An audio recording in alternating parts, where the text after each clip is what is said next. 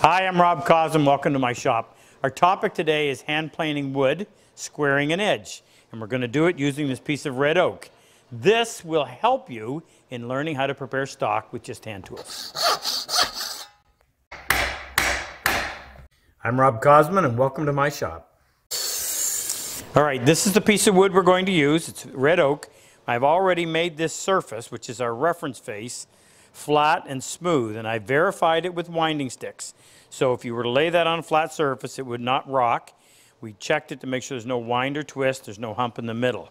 Now, if you miss that or you want a refresher on it, if you check out this video, it'll walk you through that whole process. Now, in the process of squaring an edge and straightening it, there's lots of ways you could do it. You could use your power jointer. You could even uh, use your table saw to do it. Either way, you're going to be left with mill marks on the edge. Now you can sand those off, but I'm going to show you with a hand plane, it's faster and it's actually superior. And since you're going to need the hand plane to remove the mill marks anyway, I'm going to teach you how to do the whole process just using your hand tools. So much more quiet. Stay with us. We'll walk you through the process, step A, right through to the bottom. All right, let's start off with the equipment. These are three planes that you're probably familiar with.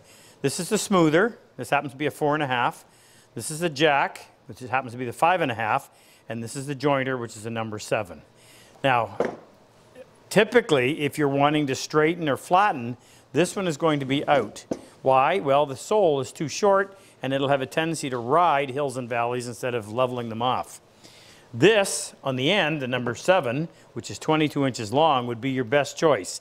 However, this board is not that long, and I can do this job adequately with my five and a half, which just happens to be my favorite plane. Now, I will mention that there's a number six. This is referred to as a fore plane. It's not that much longer than the number five and a half, maybe a couple of inches. And if you had that instead of this, well, it would, be, it would do the job just as well. The number seven, if you have it, great. A little bit of overkill maybe for something this size. All right, now, next thing we need to know is what are we going to check it with? Uh, this is a combination square. It's a six inch combination square. It's the one that I travel with usually. What I like about it is it's versatile. You've actually got a bubble level in there for determining when something is level, obviously. You can check a 45 because of this. You can also use it for depth if you need to check something like that. And it's a good square. So if I'm going to use it in, in a square application, I'll lock it down like that. You can also take that rule out and you've got a six inch rule. So pretty versatile tool. All right, we need to talk a little bit about mechanics. First of all, we want to get the plane set up. Now, if you're not familiar with how to get it to this point, meaning it's sharp, ready to go, check this video and that'll give you a good refresher.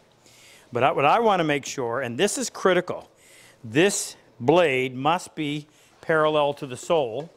If not, if it's protruding out more on one side than the other, then the problem is every pass is going to throw that edge out of square. So I got a nice, really bright colored background.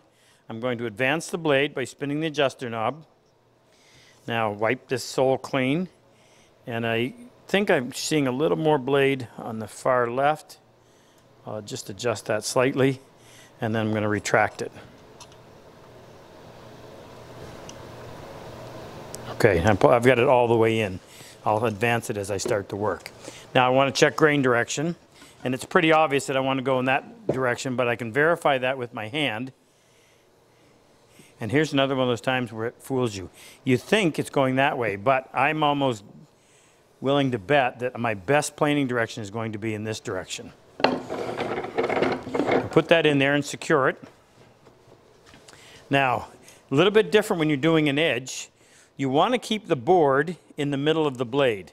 So the way I prefer to do it is I have my thumb sitting right here, and I use my side of my index finger and the underneath as a fence. So when I set that on there, my index finger, and you've got to develop a bit of a callus in order to make this easy, is underneath, my thumb's right here, and you got to put a lot of downward pressure because you don't want this thing dropping back before you get started. So my right hand is actually supporting the blade somewhat. By the way, this is a three finger grip, so your index finger is sitting right down there, somewhat comfortable, not, I'm not squeezing it. And I didn't mean to say supporting the blade, I meant to say I'm supporting the plane to prevent that dropping off. thumb right here, inde- ind- um, index finger of my left hand along the side. Now, I'm just going to move my body. I'm not going to move my arms. I'm going to try to avoid moving my arms. The first thing I need to do, and by the way, this is a mostly a leg exercise. Without advancing the blade, let me just kind of show you this technique first. So if you look at my feet, all of my weight is on my right leg. I'm actually on my heel on my left leg. And as I move forward like that, I end up just pushing a little bit with my right calf as I go through. Now, let me, and let me explain to you where my pressures, is, how my uh, applying pressure with my two hands while we do this. Obviously, you have to start with the blade before the edge. So this thumb is pushing down, this finger on the underside is keeping it centered. This rear hand, my right hand, is supporting the weight of the plane.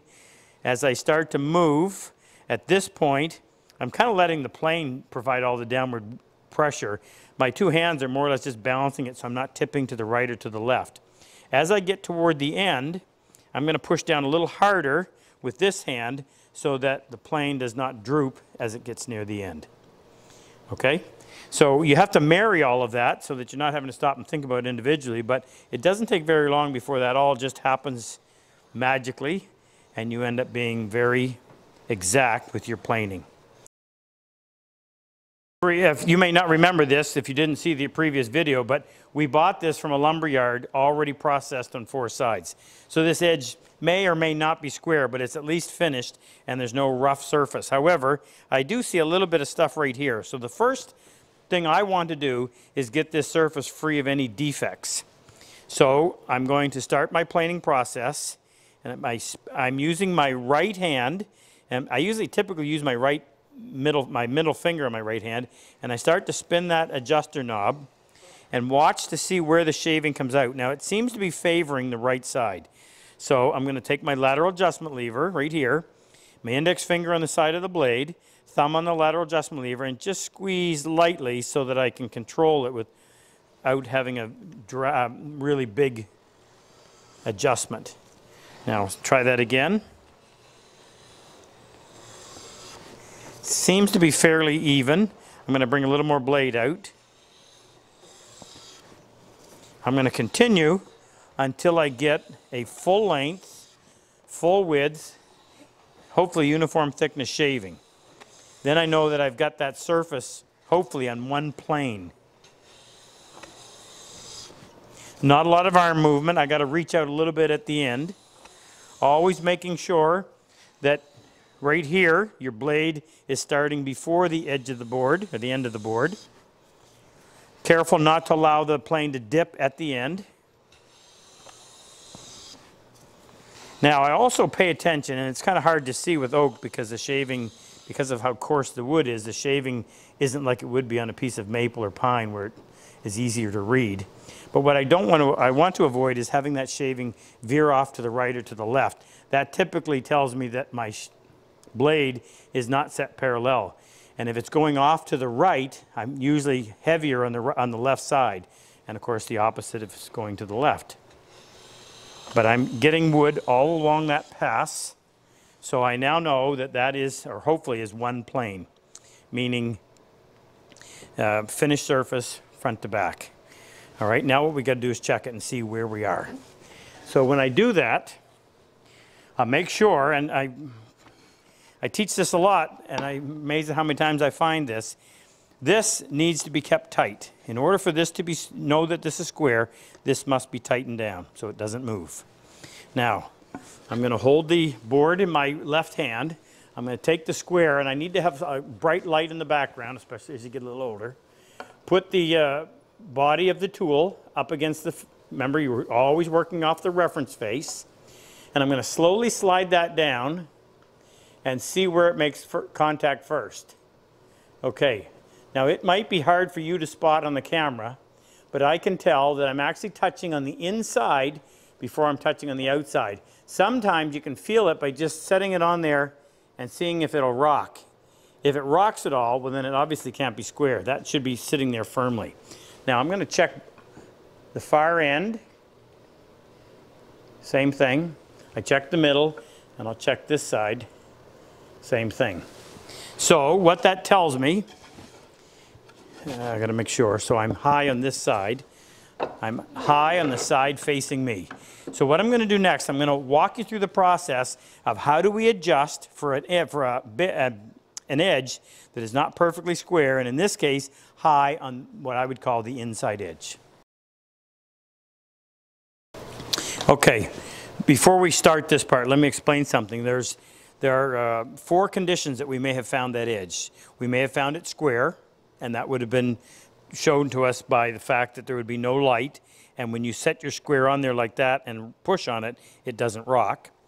It could have been high on the outside, it could have been high on the inside, which it was, or worse, it could have been twisted, meaning high on the inside on this end, high on the outside on this end, and then we're going to show you how to deal with all of those. But the one we're going to tackle first is that it's high on the inside. So I'm going to draw some lines. I'm using a dry erase marker because it doesn't penetrate very deeply. So you don't have to worry about having to explain blue marks in your board when it's all done. Okay, uh, let's just remember this again. Yeah. Okay, so this side is high. I can't do anything, I don't want to do anything to the low side. I simply need to bring the high side down to meet it. If you look at the way your plane is made, the blade does not go all the way to either side. So I'm going to use that to my advantage. And what I'm going to do, since this is the high side, that's the low side, I don't want to touch the outside, I'm going to set my plane so that this side is flush with what is the low side. I'm going to put my thumb in here and I'm using my finger to keep that in position, meaning I don't want it to slide over. And I'm going to take a pass, and in doing that, I'm only taking material off the high edge. You can see it. I'll, I'll give a little more blade so it'll be a little easier to see. Flush. Balance the plane. Okay, so if you can see, I've removed the ink mark from this side. And you, you, the more you do this, the more you'll be able to judge, well, how far should I go? I'm going to suggest that that was close enough that we may be able to stop there. But if you were to examine that edge right now, it actually would be flat to here, and then at this point, it would kind of head down the other way. So what we need is to have it square and all the way across. So what I need to do is take a one or two full width passes to bring all of this into uh, alignment with that new surface that I created right here.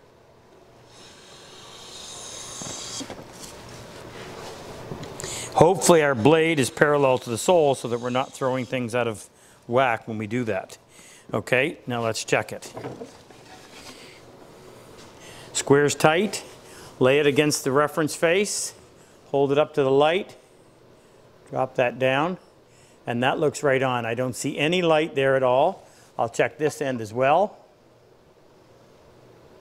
That looks good, and I'll check this end. Okay, that looks nice and square. So that was an easy one. I'm going to purposely throw this out of whack and we'll treat it doing the other way. Not much of a difference, but a little bit. Then I'm going to put a twist in it, show you how to do that. And then I'm going to show you another technique that will make all of this almost seem, obsolete, but you can't always do it, so that's why you got to know how to do this. Give me a second to screw this board up. Okay, I'm going to check this. I purposely planed this. Okay, so now if you can look and see, the, what will be the outside edge is now high. We'll check it all the way. Quite obvious. And a lot more than the other one was. So, planing in this direction. So now the situation is the low side is the inside of the one closest to me. The high side is out here. So what I'm going to do, and I find this one actually easier to work with. Now because that's out a fair bit, I'm going to advance the blade, take a little heavier pass. And I just like to hold my finger like this. Again, I'm making it so that the blade, which stops shy of the edge, is only going to there. And you can see where the blue marks are. I've preserved that low edge.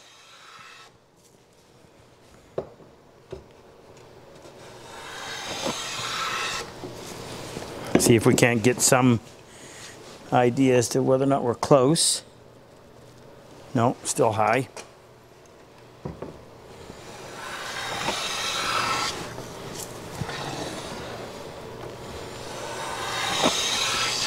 Okay, now I'm just going to quickly take one or two passes to get that edge flat side to side because it wouldn't be flat the way we did it because the blade only cut from here. So that surface was still sticking up like that because remember this was high. And what we did is we took that surface down so it would not be straight from side to side. It is now. So let's take this out and check it. I used to be able to tell when I was down in position like that, but now I've got to have the light behind me, in front of me, I should say. All right, well, we lucked out on that one because we got it first try. That doesn't always happen. Check it in three places, and that looks good. Okay. Now the next one, I'm going to introduce a twist to this. And sometimes this happens, especially when you're just getting started with this. And it's probably a function of just shifting your weight. Remember, when you're planing the edge, what your primary function is, is to balance that plane so you're not leaning heavier to one side or the other. And you're applying the same amount of pressure right down through the center of the board from front to back. All right, give me a second to screw this one up and we'll come back and fix it. All right, now I'm going to show you this with a square, but I want to show you how bad it is using the winding sticks. Now, it's not a very wide edge. That's why you need to have that little center dot on there. So we'll put that one on the back side, this one on the front. And if you sight down there now, you can see how twisted that edge is. Okay? And that'll happen. Now, you may not have winding sticks to check it, so let's pull it out of the vise and see what we can identify. So if I go to the back, okay, it's high on the outside edge. In the middle, it's right on, but out here, it's high on the inside edge. Well, you can't work with that because if you tried to glue that up, you'd never pull the joint tight. So how are we going to fix it? Well, here's how I do it. There may be other methods, but this is one I find best. If you, first of all, understand what has happened, we tend to have the front of the plane guide the cut. So as you're bearing down on the front of the plane, the blade's following along, and then as that board starts to drift off like that, the front of the plane follows it, and of course the blade has to follow the front of the plane, and you just continue to make the problem even worse. So here's what we're going to do. We're going to work with this surface. Don't care about that one for now. The first thing I have to do is I have to get this surface all back on the same plane, meaning no twist. May not be square, but I got to do this one first. So I'm going to start here, and you'll watch, you'll see this in the shaving. I'm going to plane until I get on most of the plane on the board. At this point, I'm going to turn around, and I'm going to put all the weight on the back. And what I want is I want the back of the plane to guide the blade instead of the front. So I will finish the cut, now I didn't even get anything down there. Do it again, plane to about there, switch and have my weight on the back and you'll see that it tapers off. This oak's not a great example because the shaving doesn't stay together very well. But I have a full width shaving right here, if you can see that. Okay?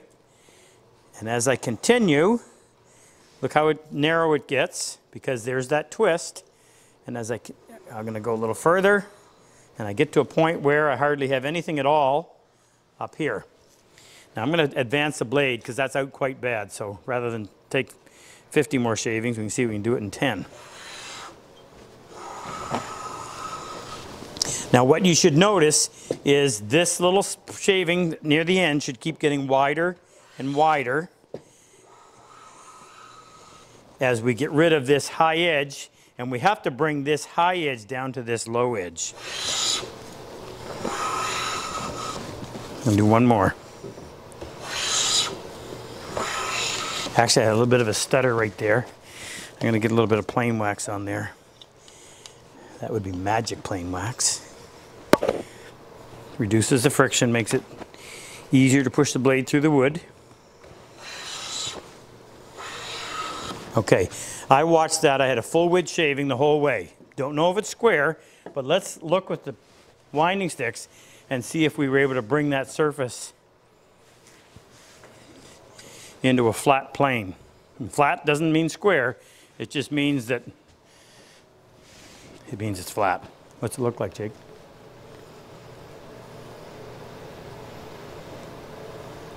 High on the right side. Let's have a look.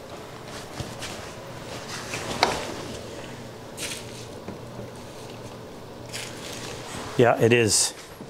So I'm going to purposely pay attention to that. And when I get up here, I'm just going to switch over. Do the same thing we did, meaning slide the plane over so that we're not taking anything off what we perceive as being a high edge. Now let's take a couple of full length passes. Check that again. So check the far end, which is showing, well, that shows right on. Check the middle. The middle's high here. Mark it so I don't forget. Mark the high edge. And back here, it shows a high edge. Now I'm going to turn this around. We're going to actually go against the grain. Only because since this edge right here is square, I'm going to use that to hopefully bring the rest of it into alignment. So I pulled the blade in. I got a nice sharp blade, a very light cut. Even though I'm going against the grain, my throat's fairly tight, but with a light pass, I should be okay.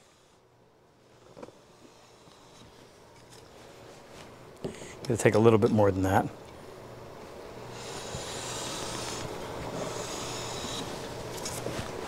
A little more still. We are taking that high edge off.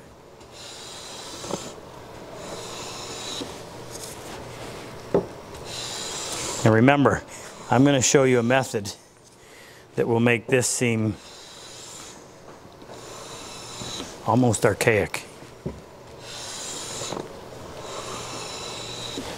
All right, let's check that.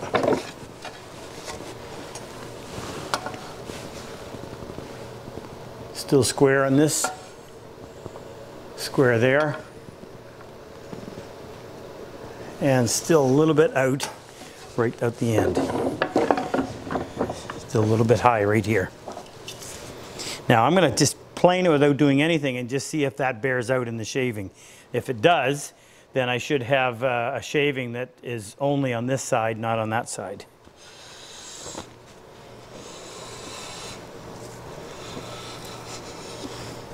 Yeah, not so.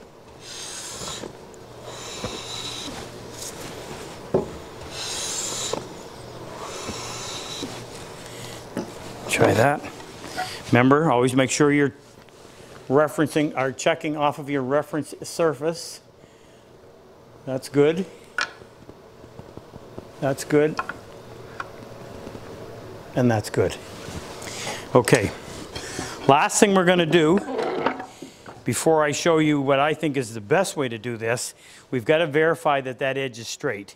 Right now it's square to the face, to our reference face, but it may not be straight from here to here. There may be a hump or a hollow, most likely a hump. We'll show it, we'll show it to you. We'll actually we'll identify it, then we'll show you how to deal with it. All right, this is the part that is actually easier with a really long plane. And in this case, I could get a plane that's almost the exact length as, as of this. I'll do it with the five and a half, however. So I'm going to set it here like that. And I'm going to look underneath and see what we've got going on. Now, I'm also going to try to pivot. If I can pivot the plane in the middle, then I know I've got a bump. I'm going to use a longer plane and see if that tells me anything different. Now, when I'm doing this, I'm tipping it, so I'm referencing just off of the edge. Okay? Now, if that wasn't, if that was um, perfectly straight front to back, it wouldn't do that. So it's showing me that I have a bump. And you'll remember from our video when we were doing the face that a plane is always going to lead you to having a bump in the middle just because of the way it works, and you've got to learn to work around that.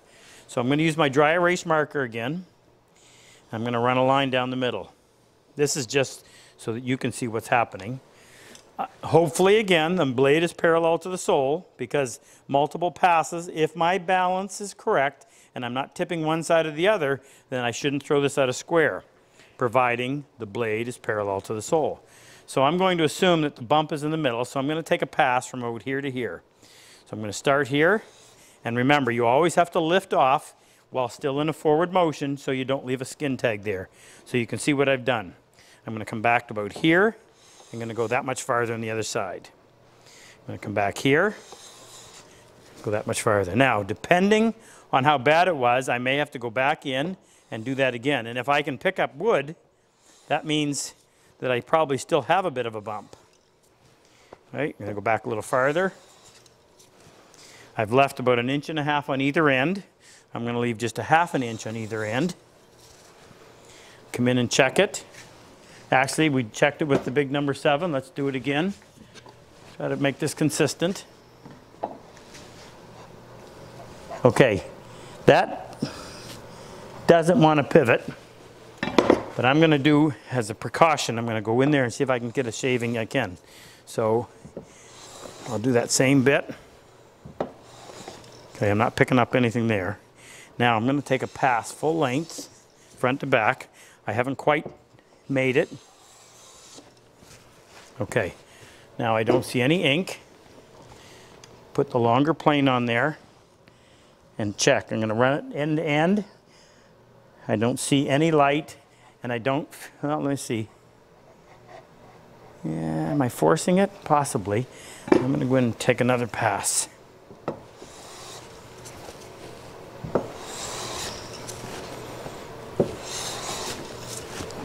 Then a full length.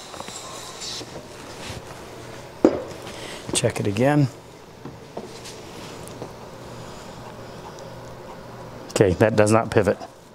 All right, so that's the way to correct. Uh, actually, we've got to check one last thing to make sure that we didn't throw it at a square. if we did, we got to start all this over again. Square,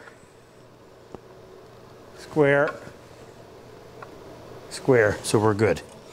Okay, the last thing I'm going to show you is what I think is the best method, the most foolproof method for doing this. Okay, now there's a couple of things that you have to have in order for this to work. One is a flat bench that you can trust, nice and smooth, free from any obstruction. You need something like a piece of MDF. I've got a piece of half inch, something that you know to be flat and equal thickness on both sides. So what I'm going to do is I'm going to take my reference face, I'll use the other edge, my reference face I'm going to lay it on the bench. I'm going to get my bench dogs out.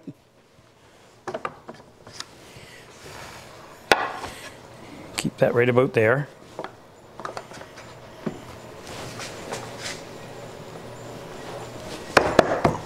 Hold that in. And that board could have been a little bit wider, but it'll do. Now with that secured, I'm going to set my plane on its edge like that, and I'm going to turn this into a shooting board.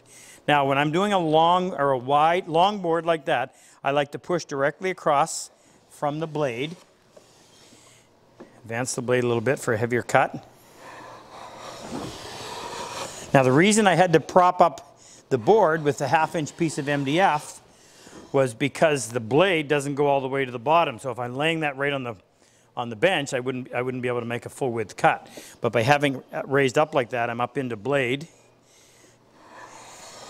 And I only have to make a couple of passes until I get a full width shaving.